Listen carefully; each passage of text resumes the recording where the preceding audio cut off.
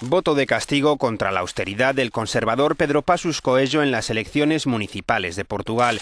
El PSD, partido del primer ministro, ha perdido la mayoría de ayuntamientos que ostentaba como consecuencia del descontento contra sus políticas de recortes. reafirmar que como presidente del PSD como líder del PSD y como primer ministro, decía pese a la derrota, quiero confirmar que continuaré en la misma dirección que hemos seguido hasta ahora algo que es necesario para superar la crisis y recuperar la confianza y el crecimiento en Portugal. El PSD ha perdido la alcaldía en tres grandes ciudades como Sintra, Vilanova de Gaia y Oporto. En esta última ha habido sorpresa y el ayuntamiento ha sido para un independiente, Rui Moreira.